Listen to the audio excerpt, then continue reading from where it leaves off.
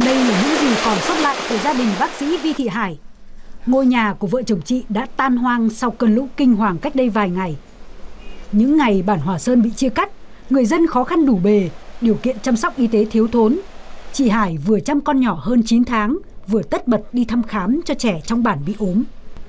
Nhiều hộ gia đình trong quá trình chạy lũ thì các cháu là cũng nhiều cháu rất là bị ngấm mưa là nên là sốt ốm rất là nhiều từ nước sạch là thiếu rất là nghiêm trọng nên là một số cháu là bị tiêu chảy rất là nặng nề. Trung tâm y tế cử các đội nhóm thì cấp phát thuốc là đến em là cái điểm trung chuyển đưa đến các nhà.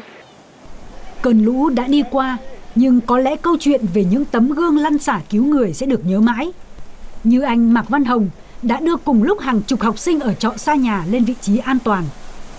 Hai cháu nhỏ lên cái mái nhà này lên trên đó là cái đoàn nước chảy xiết là khi đó là không biết làm răng cả là em ném từng cháu một sang cho bản vi bản núi ở bên các anh là kéo cái dây điện đu dây điện sang từng cháu một là cứu đấy cả mười mấy đứa học sinh tất bật với việc điều phối cứu trợ cho bà con nhưng trưởng bản Vi Văn Truyền vẫn không thể quên thời khắc nguy hiểm của dân bản.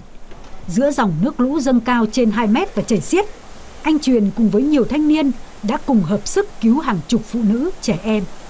Khi ấy thì chỉ cầu muốn là mong muốn sớm nhất là tiếp cận với người dân và đưa người dân ra đến vùng nơi an toàn. Nước khi nó chảy xiết là nhà ai cũng ấp ấp xuống, ai cũng khóc, là ai cũng sợ hết. May là trưởng bản, thấy trưởng bản là bơi sang, là trèo lên là nhà rồi đập uh, cái cửa nữa.